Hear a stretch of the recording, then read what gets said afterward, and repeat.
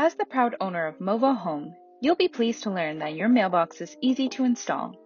In this video, we'll show you how to get your mailbox prepared and ready to use in no time. Inside your mailbox, you will find a vinyl decal, installation guide, and hardware packet. Remove any particles from the surface of your mailbox using a microfiber cloth. Ensure the mailbox surface is completely dry and particle free before applying the decal.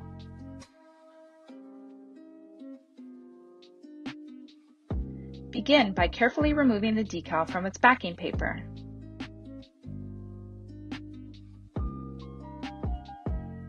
Find your desired placement on the mailbox, ensuring the vinyl characters are aligned straight, not the edges of the protective film.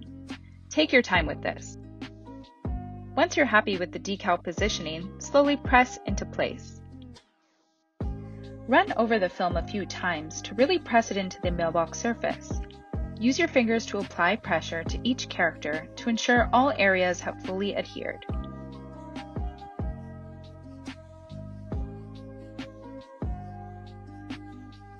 Begin removing the film from one of the corners.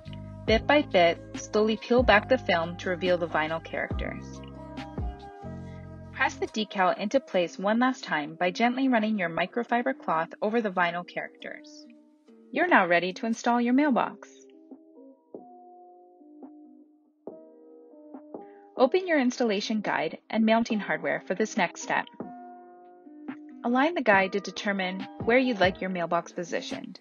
Using your pencil, poke through each circle and mark the bolt pattern.